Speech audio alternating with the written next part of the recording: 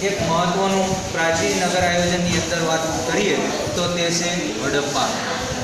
આ હડપ્પાનું ખોદકામ ઈસવીસન ઓગણીસો ને એકવીસના સમયગાળા દરમિયાન સર જ્હોન માર્શલ અને કર્નલ નેગેના નેતૃત્વ નીચે એટલે એનું માર્ગદર્શન આપવામાં આવેલું અને એના માર્ગદર્શન કે વડપણ હેઠળ ભારતીય પુરાતત્વવિદ એવા બે દયારામ સાહની અને બીજા છે મોન્ટે સોરી કર્નલ મેકેના વડપણ હેઠળ દયારામ સાહાનીએ એક ભારતની પ્રશિષ્ટ કહી શકાય એ સમયની જે નગર આયોજન છે એનું ઉત્ખનન કાર્ય કરેલું અને એ પંજાબની અંદર આવેલું મોન્ટે બોમરી નામનું સ્થળ છે, એ સ્થળ પાસે હડપ્પા આવેલું છે. એ હડપ્પા પાસે જે ખોદકામ કર્યું એને હડપ્ય સંસ્કૃતિ કહેવામાં આવે છે. ભારતની અંદર આવા જુદા જુદા પ્રકારના ઉત્ખનન કરેલા સ્થળો છે. એ ઉત્ખનન કરેલા સ્થળોની અંદર જોઈએ તો હિમાચલ પ્રદેશની અંદર, રોપર, ઉત્તર પ્રદેશની અંદર, મેરઠ જિલ્લાની અંદર આવેલું આલમગીરપુર, ત્યાર પછી રાજસ્થાનની અંદર આવેલું કાલીબંગા ગુજરાતની અંદર આવેલું ધોળકા તાલુકાનું આપણે લોથલ ત્યાર પછી કચ્છ જિલ્લાની અંદર આવેલું દેસળપુર એટલે કે શિકારપુર, બે બાજુ બાજુમાં ત્યાર પછી કચ્છની અંદર આવેલું ધોળાવીરા, સુરેન્દ્રનગર જિલ્લાના લીંબડી પાસે આવેલ રંગપુર ગોંડલ પાસે આવેલ શ્રીનાથગઢ અને મોરબી પાસે મુંતાસી એ સૌરાષ્ટ્રની અંદર અને સોમનાથ. આ સ્થળોએ ખોદકામ કરતા કેટલાક પ્રાચીન સમયના અવશેષો મળી આવેલા છે.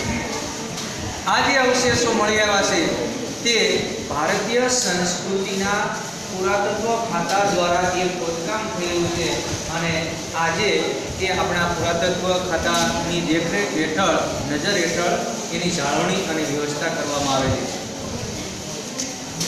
ત્યાર પછી ભારતનું મહત્વનું બીજા નંબરનું નગર આયોજનની દ્રષ્ટિએ શ્રેષ્ઠ વ્યવસ્થા પણ ધરાવતું અને શ્રેષ્ઠ વ્યવસ્થા ધરાવતી બીજું નગર જો કોઈ હોય, તો તે છે ધોળાવીરા.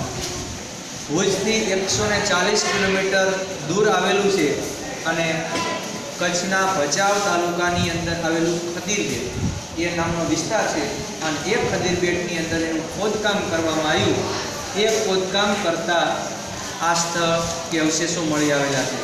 ઈસવીસન ઓગણીસો ને નેવના સમયગાળા દરમિયાન રવિન્દ્રસિંહ બિસ્તના માર્ગદર્શન હેઠળ એનું ઉત્ખનન કરવામાં આવેલું, ખોદકામ કરવામાં આવેલું અને આ ધોળાવીરા જે સ્થળ છે આપને મળી આવેલું છે.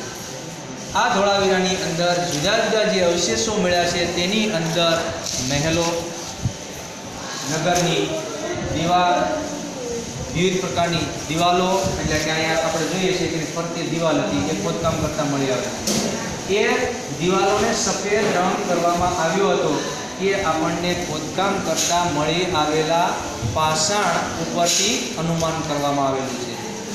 નગરની કિલ્લેબંધીની મજબૂત સુરક્ષા વ્યવસ્થા આ ધોળાવીરાની અંદર રાખવામાં આવેલી છે અને તેના દ્વારા એમ કહી શકાય કે આ નગરને રક્ષાત્મક એ દિવાલો ઊભી કરવામાં આવેલી છે. આ દિવાલ છે માટી, પથ્થર અને ઈંટોમાંથી બનાવેલી છે. તેની અંદર જે પાણી છે, એ પાણી શુદ્ધ પાણી મળી રહે એટલે એક હોજમાંથી બીજા હોજની અંદર પાણી જઈ શકે અને કુદરતી રીતે ગાળણ થાય પાણીનું, શુદ્ધ પાણી આગળ વધે. એવા પ્રકારની વ્યવસ્થા આ ધોળાવીરાની અંદર એ ઉત્તમ પ્રકારની વ્યવસ્થા છે, તેવું આ ખોદકામ પરથી અનુમાન કરી શકાય છે. એટલે સ્વાસ્થ્યની દ્રષ્ટિએ એમ કહી શકાય કે ધોળાવીરા એ ઉત્તમ નગર આયોજનની દ્રષ્ટિએ ગણાવી શકાય. આ ધોળાવીરા છે, એને કેટલાક પિક્ચર, ચિત્ર છે, આપણે જોઈ શકીએ. એની કાલ્પનિક રચના અને ખોદકામ કરવામાં આવેલું છે એ અહીંયા જોઈ શકીએ છીએ કે આ એના અવશેષો છે. આવા પ્રકારનું આપણે ઉત્ખનન કરતા ધોળાવીરા મળી આવેલું ત્યાર પછી લઈએ લોથલ ગુજરાતની અંદર જે પ્રાચીન સમયના અવશેષો મળી આવેલા છે, એમાંનું સૌથી અગત્યનું અને મહત્વનું જો કોઈ એ નગર હોય, તો તે છે લોથલ. આ લોથલ અમદાવાદના ધોળકા તાલુકાની અંદર આવેલું છે. બે નદીઓ, એક તો ભોગાવો નદી અને બીજી છે સાબરમતી નદી. આ બંને નદીઓના વચ્ચેના ભાગની અંદર એ લોથલ સ્થળ આવેલું છે. અને ખંભાતથી અઢાર કિલોમીટર દૂર થાય. ત્યાં સ્થળે આ ખોદકામ કરતાં મળી આવેલું નગર એટલે લોથલ અને તેમાંથી માનવ વસાહતના ત્રણ સ્તર અથવા સ્તર મળી આવેલા છે. ખોદકામ કરતાં જુદા જુદા ત્રણ સ્તર મળી આવેલા છે. આ ત્રણ સ્તરની અંદર નગરના પૂર્વ છેડેની નીચાણવાળા ભાગે વહાણ લાંગરવા માટેનો મોટો ધક્કો બનાવવામાં આવ્યો છે. જેને ડોક યાર્ડના નામથી આપણે ઓળખીએ છીએ. કે જહાજ સીધે સીધું જે લોથલ છે એના ગામની પાસે એક મોટો તળાવ બનાવેલો આવા બનાવેલું છે. અને ત્યાં કોઈ વસ્તુ છે, એ વસ્તુ ઉતારવા અને ચડવા માટેનો જે આખો વિભાગ બનાવવામાં આવેલો છે, એને કહેવામાં આવે છે ધક્કો. આપણે ચિત્ર જોયું આપણે એટલે ખ્યાલ વધારે આવશે અને તે સમયે લોથલ એક ભારતનું સમૃદ્ધ બંદર ગણવામાં આવતું હતું. જ્યાંથી મોટાભાગની આપણી ચીજવસ્તુઓ છે એ લાવવામાં આવતી હતી અને ત્યાંથી જ મોકલવામાં આવતી હતી. એટલે એ સમયનું, પ્રાચીન સમયનું સમૃદ્ધ બંદર ગણવામાં આવે છે. એ છે પ્રાચીન નગર સ્વરૂપની દ્રષ્ટિએ આ લોથલનું ચિત્ર. જે આપણા પાઠ્યપુસ્તક આધારિત જોઈએ તો આને લોકયાર્ડ કહેવામાં આવે છે.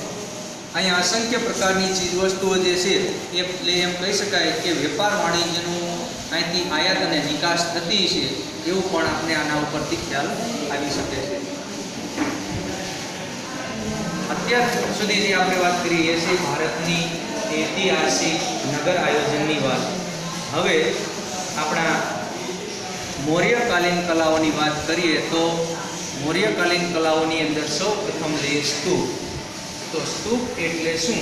તો કે ભગવાન બુદ્ધના કોઈ પણ અંગને, અંગ એમ કે પછી વાળ હોય, પગ હોય, હાથ હોય, કે કોઈ પણ અસ્થિ ની ઉપર કે કોઈ દાબડામાં ફિટ કરી અને તેની ઉપર ગોળાકાર સ્વરૂપે, ઘંટાકાર સ્વરૂપે, અર્ધ ગોળાકાર સ્વરૂપે જે ચણતર કરવામાં આવે છે, એને કહેવામાં આવે છે સ્તૂપ. હવે આ જે ભારતની અંદર સ્તૂપો બનાવવામાં આવેલા છે. એમાં સમ્રાટ અશોકના શાસનકાળ દરમિયાન પાંચ મોટા સ્તૂપો આપણને મળી આવેલા છે. આ પાંચ સ્તૂપોની અંદર એક સાંચીનો સ્તૂપ, સારનાથનો સ્તૂપ દેરકનો સ્તૂપ નંદનગઢનો સ્તૂપ અને દેવની મોરી જે ગુજરાતની અંદર આવેલ છે, આ પાંચ સ્તૂપો છે એ મળી આવેલા છે, જે મૌર્યકાલીન સ્તૂપના ઉત્તમ નમૂના ગણી શકાય. એની અંદર પહેલો આપણે લઈએ તો સાંચીનો સ્તૂપ, જે ભારતની અંદર મધ્યપ્રદેશ રાજ્યની અંદર આવેલું છે. અને આ સાંચીનો સ્તૂપ છે એ મોટા પ્રકારની ઈંટોમાંથી બનાવવામાં આવેલો છે. જ્યારે મૂળ સ્વરૂપનો આ સ્તૂપ છે એ વિશાળ અને મોટો હતો. અને આજે જે સાંચીનો સ્તૂપ ઊભો છે, એ એનો અડધો જ કહી શકાય ને, એટલો જ છે સ્તૂપ, જે આપણી મહત્વની સ્થાપત્ય કલાનો ઉત્તમ ઉદાહરણ અને નમૂના સ્વરૂપે આજે પણ આપણે ગૌરવ લઈ શકીએ. એવા પ્રકારનો આ સાંજીનો સ્તૂપ છે. આ ચિત્ર દ્વારા પણ આપણને ખબર પડી શકે કે એ ઈંટોમાંથી બનાવેલો અને આજે છે ને અહીંયા એ અડધો જ છે. આના કરતાં પણ ડબલ અથવા મોટો એ મૂળ સ્વરૂપનો હતો.